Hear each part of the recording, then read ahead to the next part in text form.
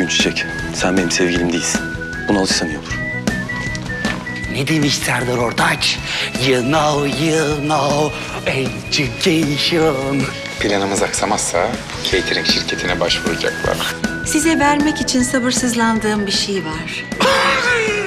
Özür dilerim Elçin. Affet beni. Sana bir şans daha vereyim. Buna pişman olmayacaksın.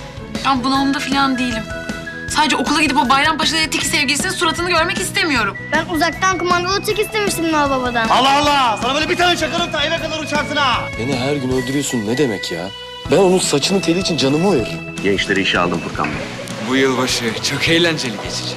İlk yılbaşımızda birlikte olamayacağız. Daha önümüzde çok yılbaşı gecesi olacak. Ne oluyor bakayım orada? Songül teyze. Hem çok ilginç hem de çok iyi bir insansın. Sanırım bu yüzden sana aşık oldum. Efendim? Yoksullukları en büyük zenginlikleriydi. Bir de aşkları. Pis Yedili Salı akşamı yeni bölümüyle Show TV'de.